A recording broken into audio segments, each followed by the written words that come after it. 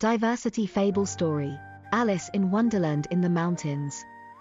Alice was a young girl who always loved adventure, so when she found a mysterious creature perched on a branch and beckoning her to follow, she did not hesitate.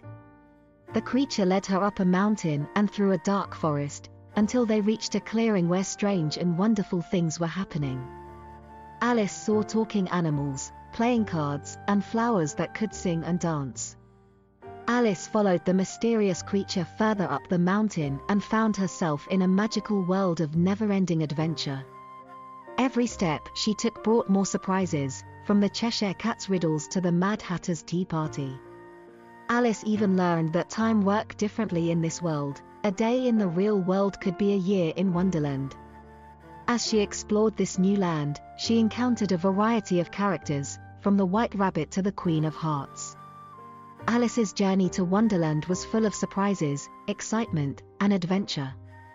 She learned valuable lessons along the way, including the importance of being yourself, staying curious, and never giving up no matter how difficult things get. The story of Alice in Wonderland is a classic, timeless tale of discovering the power of imagination, bravery, and courage. It reminds us all that we can find adventure and joy at any time, even if it is just around the corner.